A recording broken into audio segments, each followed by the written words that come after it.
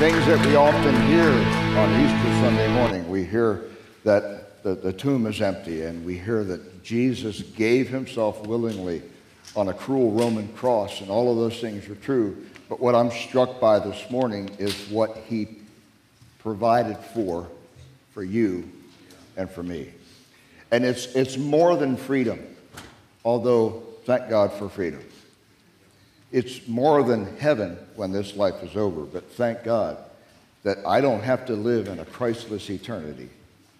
Not because I'm all that in a bag of chips, not because I am so wonderful, but because Jesus died for me. But there's something else that he has made available to all believers that I, I think a lot of Christians don't stop and consider. There's a verse of scripture in Romans chapter 8, verse 11.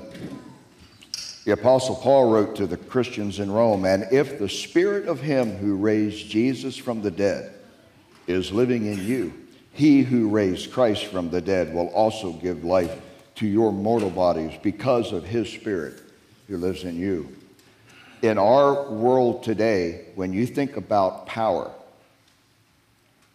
you think about might, and when you think about position, it, it seems like so many are fighting their way through life so that they can be first.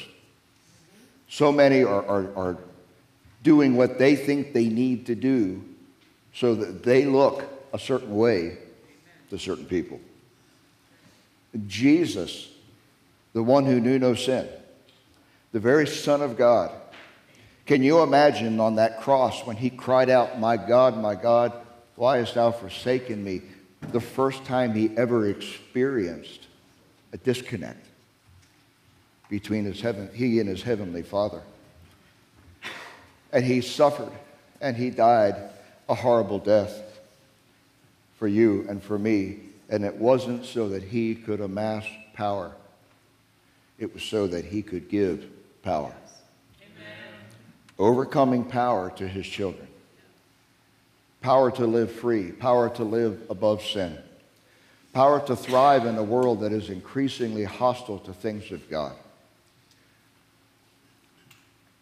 There's another place in Scripture where, again, the Apostle Paul speaks of this power, that power that raised Jesus from the dead. It's in the book of Ephesians. I love the book of Ephesians.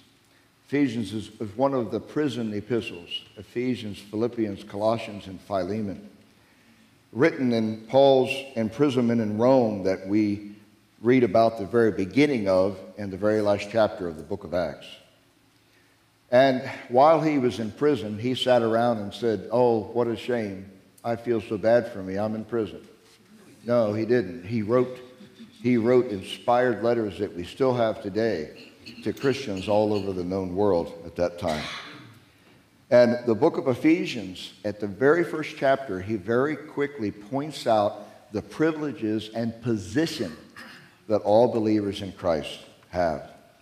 Not because they're so good, not because they didn't do certain things or did other things, but because of what Jesus made available.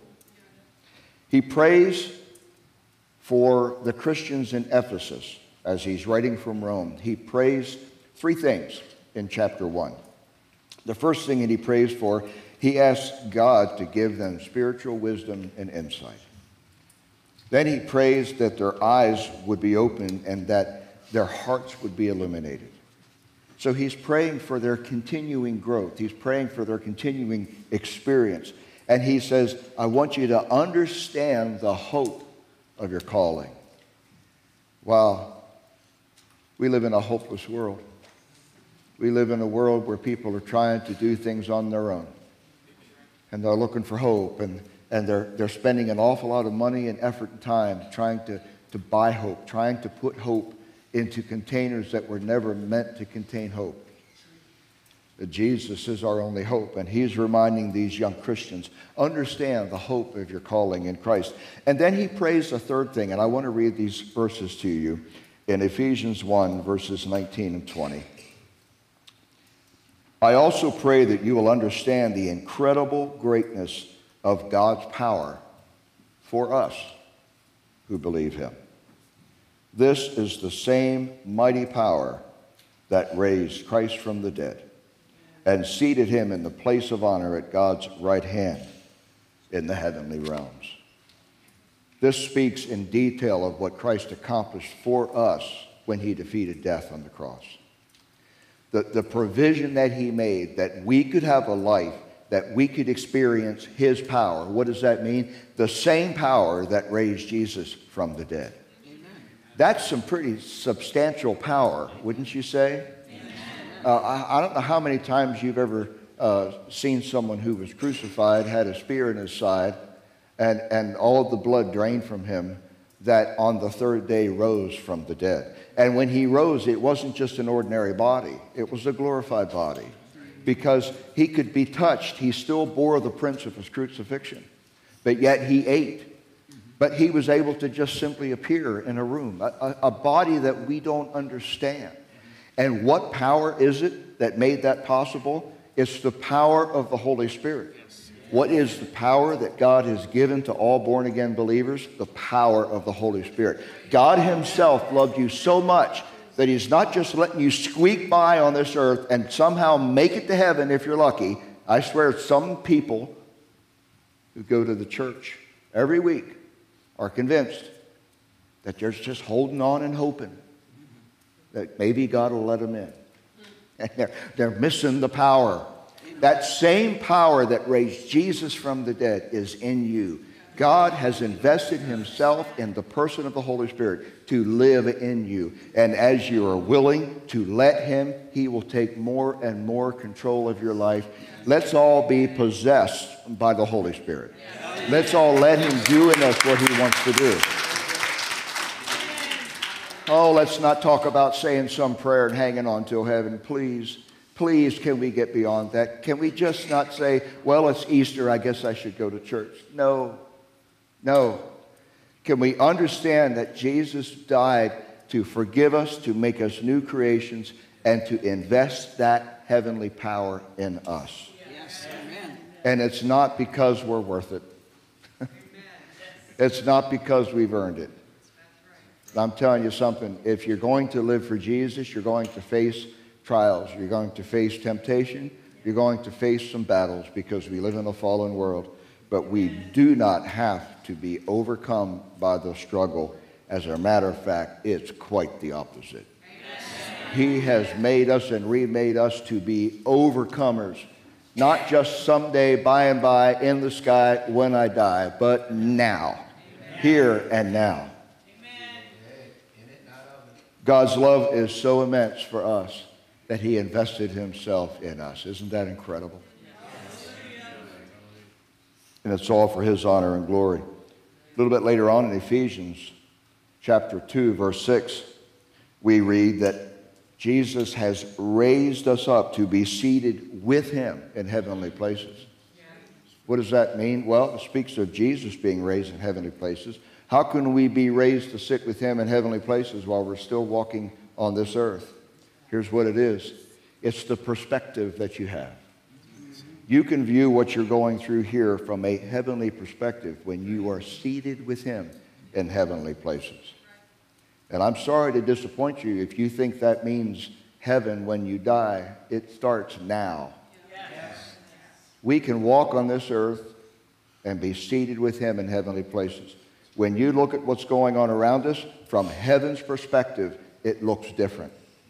When you look at what's going around us from heaven's perspective, then you don't walk through each day, set day saying, Poor me, look at all that I have to be burdened with. There is victory in Jesus.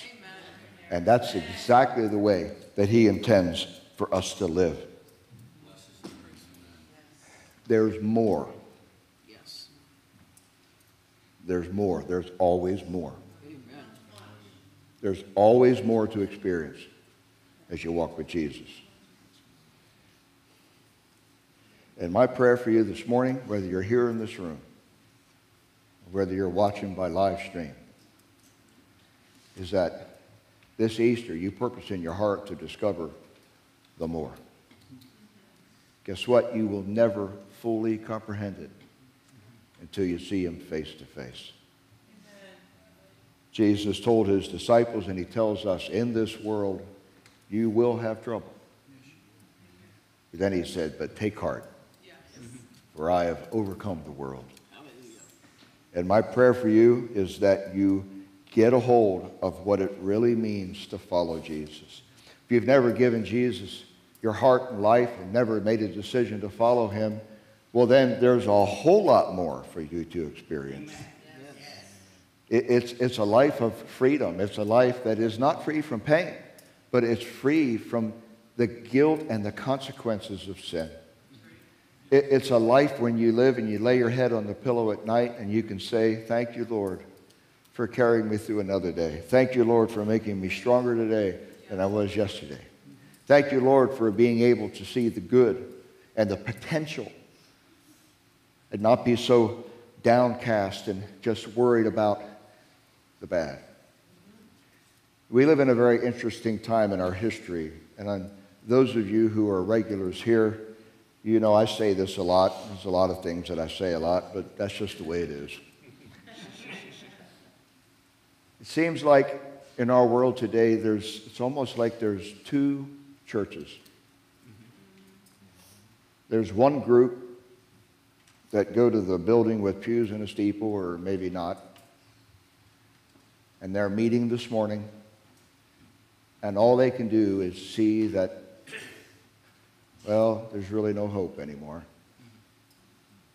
What are you going to do? Oh, what a depressing thing to hear. What are you going to do?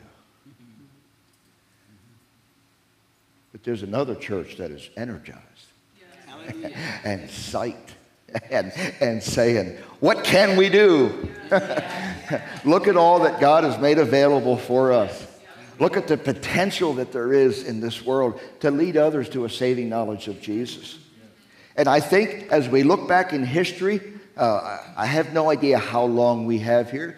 Christ could come at any moment. And I'm like, let's go, right? I'm ready. But until he comes, there's nothing in the Word of God that says quit. Nothing.